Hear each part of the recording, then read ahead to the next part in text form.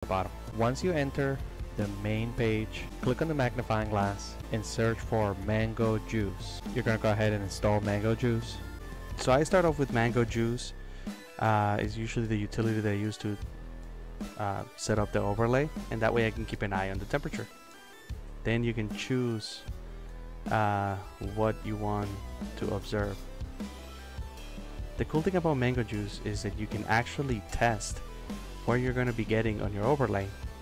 Uh, I like to check the RAM, virtual mem memory utilization, and things for that nature. And when you click on test, you can actually see what's going to be displayed. But once you have set it up, you have to come to the game on Steam and go into the properties menu and then under launch options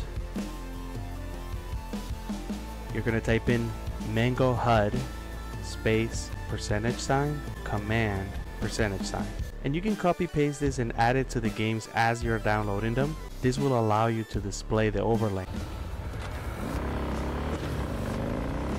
This is uh, we're running the game on